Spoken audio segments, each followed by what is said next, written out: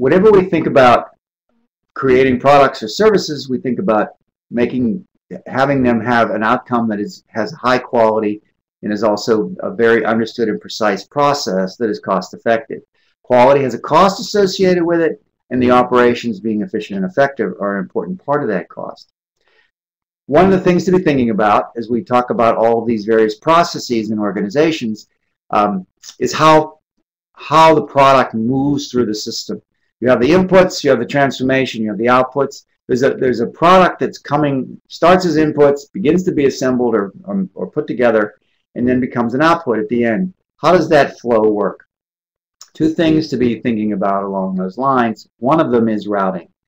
How does the product go from one stage to another stage? Starts out as inputs that get collected in the warehouse. Those get put into some sort of an assembly process. They move through that process and then they move to an output. So there's a routing problem of moving materials and things around. And then when that happens, when the resources are available, how that can be scheduled, the timing of it, and making sure there are assets that have to be used for the process of transformation are available at the right points in time. That's the scheduling process. So we talk about those um, next.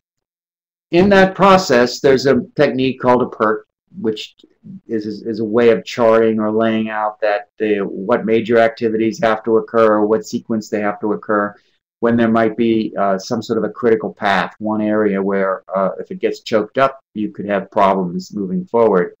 Um, and then figuring out the time for each, and then from that you can figure out what is a critical path that the, the, the particular product or service goes through so you can make sure that you don't let a bottleneck occur at that critical path. Here's an example. You have these hamburgers um, in a fast food joint. Um, you know you're going to be making hamburgers and you can make a lot of them, but the problem you have is that it takes a lot longer for the patty to grill than for you to set up the bun and put on all the sauces and the lettuce and all that sort of thing.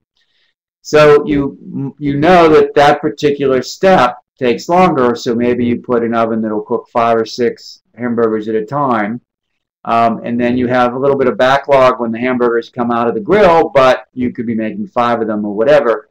And so you understand that you don't have someone standing around waiting each time, but you've managed that bottleneck. And you could do step by step by step and try to figure all of those out. These are all extremely useful um, techniques. This uh, PERT chart and is a Gantt chart, which is a timing project management type skills, uh, which people use in operations to try to be effective and to manage quality. Quality, like efficiency and cost, is an important element because it adds an attribute to the product where people know what they can expect and they get what they expect, which is what they want. Reflects how much it meets the demands of the requirements of the of the uh, of the customers. Um, it's also not so easy to figure out. So you have to understand what customers want, and you also have to understand the routing and the scheduling and the quality of raw materials, all of those things, and how they come together for a final product. Quality management is an important element of what businesses do. That's called quality control. That is, understanding what quality means on the one hand, and then how making sure all of your processes that you have in place live up to that quality standard. One method for this is called statistical process control, which means you understand that any process, making jeans, making hamburgers, there's going to be variance. Maybe the hamburgers don't all come out exactly the same. Maybe the buns don't all look exactly the same. Maybe the sauces aren't put on exactly the same.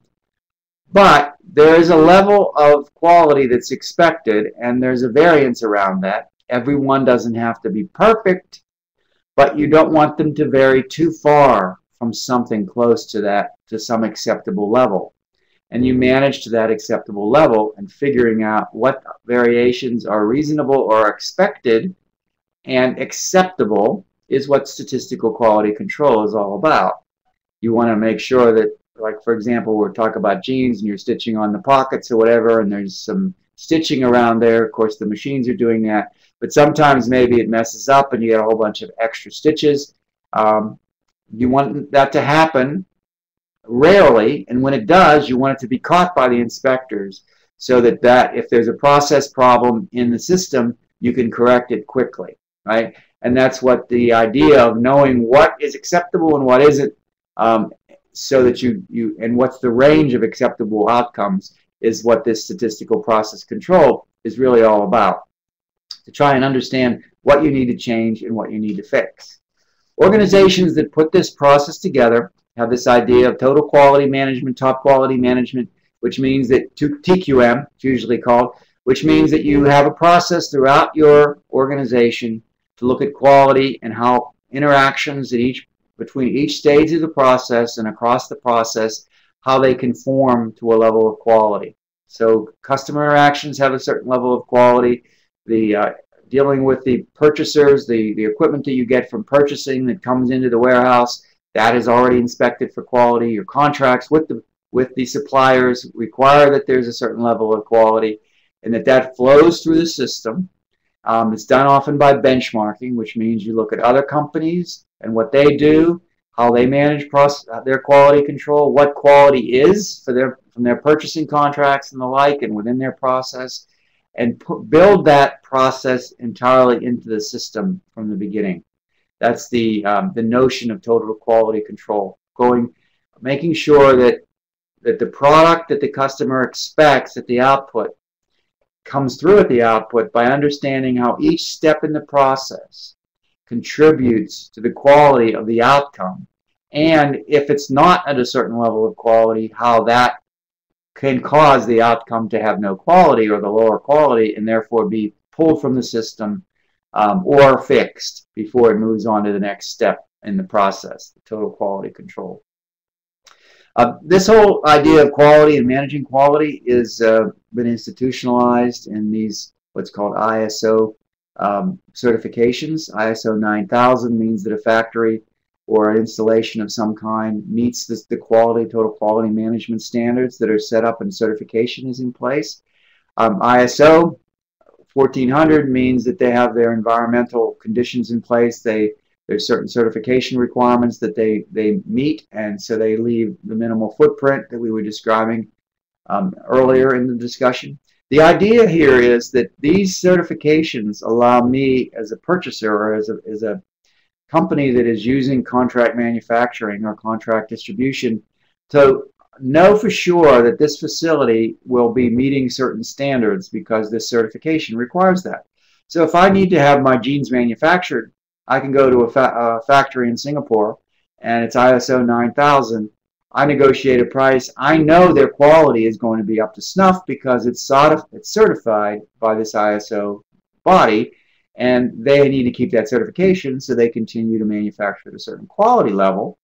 I can go to Argentina and find a plant that's ISO 9000, and then I know that that's going to be of this level of quality. So now I can negotiate on price and I can negotiate on distribution costs and currency levels and get the best deal and maybe buy some from one factory and some from another factory and I'll know when they come to me for my distribution and, and, uh, and the like um, that they're at the right level of quality.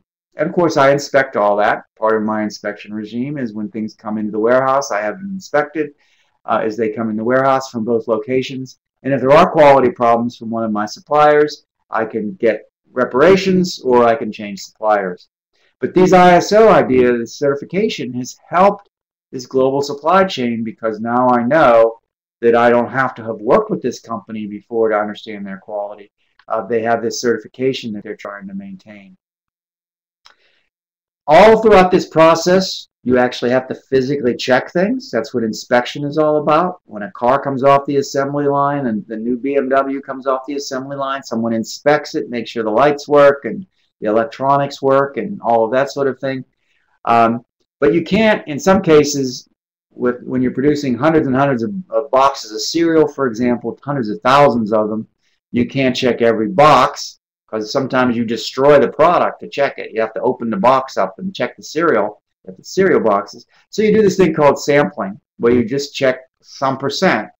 And managers that are quality managers figure out the right percent to sample to make sure that you're you have a high enough uh, expectation that the products coming through will be of higher quality. And you figure all of that out and implement it and sampling can be done all at every stage of the manufacturing process.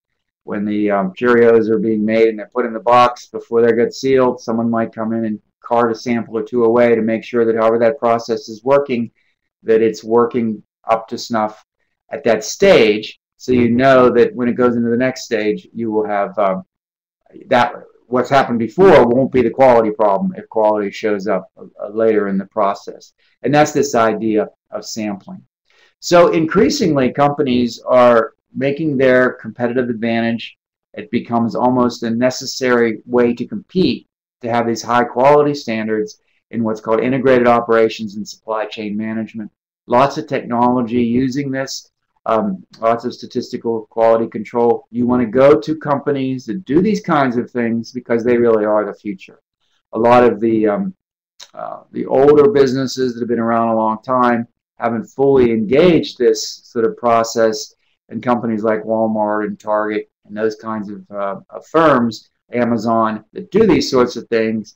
Um, on one hand, you say it's not fair because they're so big, but on the other hand, they do things that are actually more effective from a business perspective going forward.